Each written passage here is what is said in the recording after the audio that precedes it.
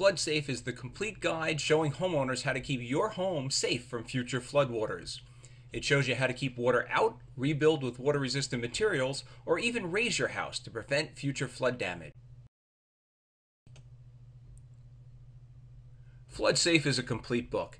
It shows homeowners how to prepare for hurricanes and storms, how to keep floodwaters out of your house. If floodwaters ever get into the home, it shows you how to protect your contents.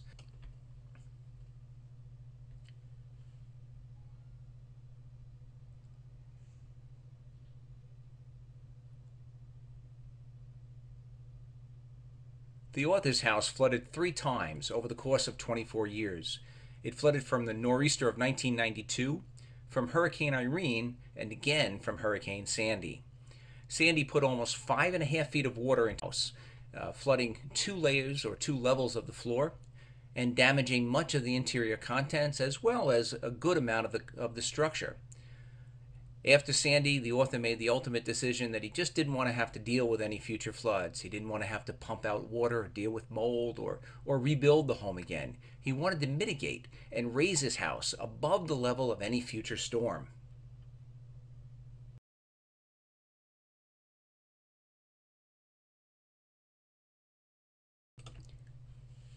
The author didn't want to just raise his house. He wanted the finished product not to look out of place in the community. He came up with a design that allowed him to raise the house six feet and still not look out of place. This illustration shows the, the graphic artist's conception, and then this photo shows the finished product after the house had been raised. We started by hiring Brownie Company, a very experienced lifting company, fourth generation. They came to the home and they chiseled holes through our existing foundation walls installed steel I-beams through those holes and through many of the room's interior. Those steel I-beams were supported on wooden cribs uh, built with wood 6x6s. Those also housed Brownie Company's uh, unified jack system. A total of 16 jacks were used during this project.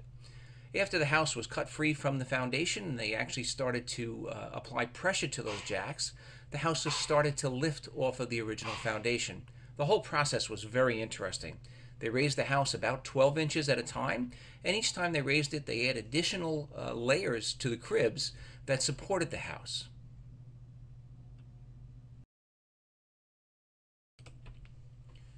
Now, we had to raise our house six feet, but Brownie actually raised the house a total of 10 feet, which allowed them to get a bobcat underneath the dwelling to install helical piles, used to reinforce the foundation on the soft soil found in the area.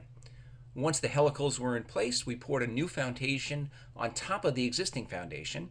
Once this concrete was, Brownie came back and they lowered the house back down onto this new elevated foundation. Many of the interior rooms had to be rebuilt.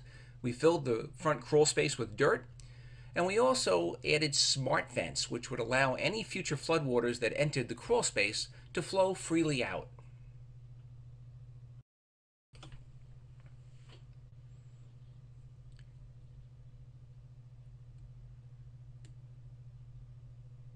Many of the interior rooms had to be completely rebuilt. These images show our back room during various stages of reconstruction.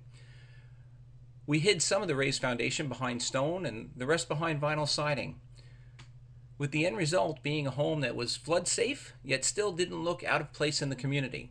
For additional information on keeping your home flood safe, refer to the book Flood Safe by Kay Dan Berg, available on Amazon.com.